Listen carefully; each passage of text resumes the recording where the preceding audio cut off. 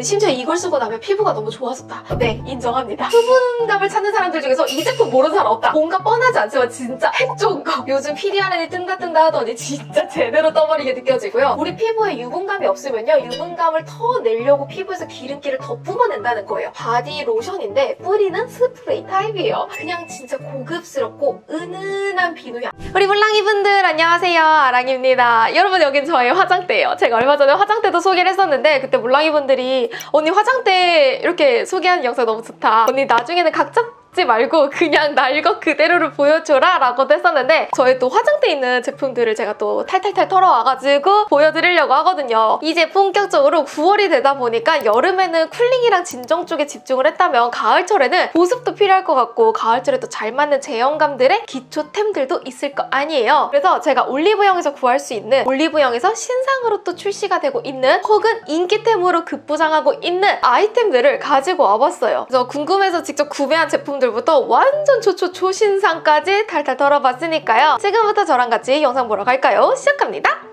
저 올영 안에서 구매할 수 있는 제품들 중에서 토너 패드 딱 하나만 꼽자고 하면 어쩔 수가 없어요. 아뜨망의 마린켈프 아쿠아 모이스처 패드 아직까지 진짜 잘 쓰거든요. 얼마 전에는 후기도 봤었는데 아 이게 유튜버 분이 추천을 해줘가지고 구매를 했는데 아 왜 좋다고 하는지 알 것 같다고 확실히 보습감을 진짜 잘 채워준다고 했었는데 여러분 가을철에 화장 진짜 잘 먹는 토너 패드로 왕 추천해요. 다른 토너 패드도 많이 써보기는 했지만 진짜 부동의 1위는요 아뜨망이요. 쓰고 나면 입술 위쪽이랑 이 팔자주름 쪽에 있는 각질들이 싹 잡히다 보니까 화장이 진짜 잘 먹고 각질 제거 효과도 있고 보습감도 쫙쫙쫙 넣어주다 보니까 제가 진짜 격하게 애정하고 있고요. 물랑이 분들이 이제 아뜨망 너무너무너무 잘 알고 있으니까 여러분 잘 쓰고 있다면 후기 남겨주세요. 제가 뒤늦게 클렌징 워터 이렇게 빠지게 될 줄 몰랐어요. 사실 저는 클렌징 워터를 썩 좋아하는 사람이 아니었거든요. 클렌징 워터를 쓰면 쓰고 나서의 그 피부 마르는 느낌 찝찝하면서 잘 지워지지 않는 것 같은 느낌. 베이스 화장을 지우기는 괜찮지만 이게 색조까지 지우기는 좀 그렇다라는 인식이 있었고 그런 제품들만 써봤었나 봐요. 근데 히아의 마일드버 클렌징 워터는 이제 주변에서 요즘 너무 영업을 많이 하길래 심지어 이걸 쓰고 나면 피부가 너무 좋아졌다. 이런 얘기를 너무 많이 해줘가지고 써보기 시작을 했는데요. 네 인정합니다.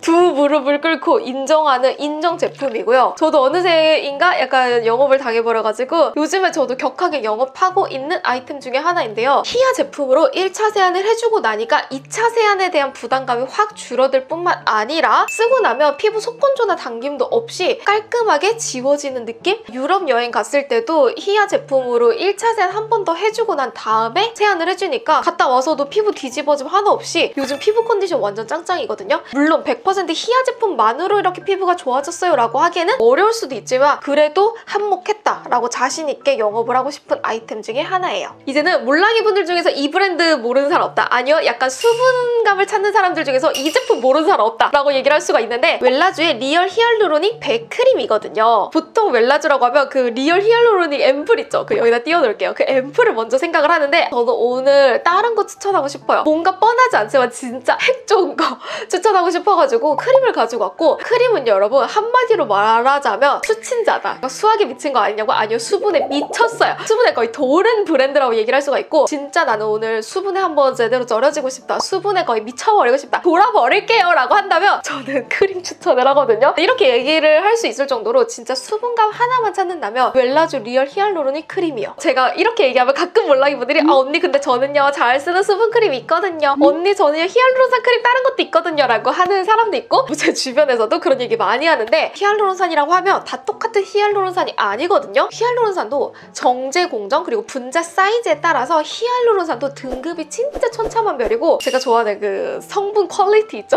그 quality도 약간 high quality다라고 얘기를 할 수가 있어요. 아니요 저는 그냥 겉에만 촉촉해지는 거 말고 전 진짜 속부터 진하게 촉촉해지고 싶어요 라고 한다면 진짜 여러분 웰라주 꼭 한 번만 써보세요. 그리고 진짜 신기한 게 크림을 써주고 나면 처음에는 뭔가 부드러운 샤베트 같은 느낌? 수분 샤베트 느낌으로 촉촉하게 스며드는데 쓰고 나면 피부 바깥쪽에 그 수분 알갱이라고 해야 되나? 그 촉촉 촉촉함이 남아있는 거가 눈에 보이거든요? 근데 이렇게 말로만 표현을 하니까 진짜 어려운데 써보면 확실히 느껴지긴 해요. 수분 뭔가 막 수분 알갱이가 요 위에 지금 남아있구나 라는 게 피부에서는 제대로 느껴져요. 어떤 성분을 사용하는지도 진짜 중요한데 함량도 중요하거든요. 성분 함량의 차이가 찐 수분 차이를 만들어 주거든요. 웰라조 이 크림에는 순도 100% 히알루론산을 미세하게 쪼갠 초저분자 히알루론산이 함유가 되어 있어요. 보통 화장품에는 정제수가 가장 많이 들어간 것 같죠? 아니요 얘는 정제수보다 히알수의 함량이 훨씬 더 높아요. 그래서 가을철에 각질 올라오고 수분 부족하고 화장 좀 들뜨고 뭘 써도 뭔가 속은 촉촉해지지 않는다라고 한다면 진짜 추천이요. 저는 오늘 크림만 소개를 했었는데 이거 올리브영 후기를 찾아보면 크림이랑 앰플이랑 또 찰떡궁합이라는 후기가 진짜 많아요. 같이 쓰고 싶은 꿀조합을 찾고 싶다면 앰플까지도 같이 써보시면 좋을 것 같고 제가 오늘 소개한 웰라주는 10월 한 달 동안 one plus one 약간 좀 특별한 할인 그리고 또 기획 세트가 있다고 하니까 궁금하신 분들은 더보기란 보시면 좋을 것 같고요. 저도 얼마 전에 구매한 제품인데 이게 요즘 핫해가지고 저도 같이 리뷰를 하려고 사왔습니다. 아누아의 PDRN 히알루론산 캡슐 100 세럼이고요. 요즘 PDRN이 뜬다 뜬다 하더니 진짜 제대로 떠버리게 느껴지고요. 제가 얼마 전에 박람회 같은 것도 갔다 왔었다고 했었잖아요. 그때 당시에 얘가 요즘 트렌드 패키징으로서 인공 눈물을 연상시킬 수 있는 패키지가 있다 하면서 이제 그 패키지 회사에서 영업을 하는 걸 봤었는데 아니나 다를까 요거 를 아누아에서 출시를 했더라고요. 어머나 너무나도 반갑더라고요. 안에 PDRN이랑 히알루로닉 애시드 그리고 콜라겐까지 같이 들어가 있는 게 느껴지고 진짜 그 PDRN과 히알루론산 성분을 진짜 꾹꾹꾹 담은 게 느껴지기는 해요. 사용을 해보면 촉촉하면서도 매끈한 느낌이 드는 마무리감 그리고 사용감도 나쁘지는 않았어요. 최근에 PDRN이라고 하면 몇 가지 좀 유명한 애들 있잖아요. 뭐 제일 유명한 VT의 PDRN이라고 하면 얘는 연유 같은 제형감 그리고 마무리감은 진짜 부들부들하게 피부결을 케어해주다 보니까 사용하고 나면 그게 뭔가 광채 케어를 해주기에 좋은 느낌이고요. 이것도 유명하죠. 이니스프리의 레티놀 그린티 PDRN 스킨 부스터 앰플 이거는 조금 쫀득쫀득한 제형감으로 night care routine 전용으로 추천을 하면서도 약간 속보습을 같이 채워줄 수 있어서 건성 쪽에 조금 더 추천하는 제품이라면 앞에 두 개랑 비교하면 완전 수분 쪽 앰플에 더 가깝기는 해요. 그래서 진짜 light하게 스킨케어를 해주고 싶은 분들 나는 지성이다 유분감 이 걱정이에요 라고 하시는 분들한테 추천을 하는 세럼이에요. 집에서 쓰다 보니까 하나씩 뜯어서 쓰는 게 조금 편하지는 않았는데 최근에 이게 3초 광채 plumping이라고 해가지고 대용량 사이즈 30ml로 출시를 했더라고요. 먼저 낱개 제품으로 써보고 난 다음에 이렇게 30ml로 구매를 해보셔도 괜찮을 것 같아요. 광채보다는 약간 좀 수분 plumping이 조금 더 가깝지 않나 라고 생각을 하고 있어요. 진짜 찐 광채보다는 진짜 수분 plumping이 필요하신 분들한테 추천을 하고 싶어요. 몇 년이 지나도 제가 진짜 지치지 않고 꾸준히 진짜 찐득하게 오랫동안 추천을 한 제품이요. 제가 스킨케어를 트렌드에 맞춰서 다양한 제품을 보여드리기도 하지만 제 피부에게 정말 잘 맞았었던 제품들 몇 가지는 몇 년이 지나도 제가 지겹게 소개를 하는 게 있거든요. 그중에서 약간 빼놓지 않고 꾸준히 소개를 하는 거는 넘버즈인의 보들보들 결 세럼이요. 제가 이 3번 라인이 엄청 잘 맞았어요. 특히나 속건조로 인한 트러블, 속건조로 인한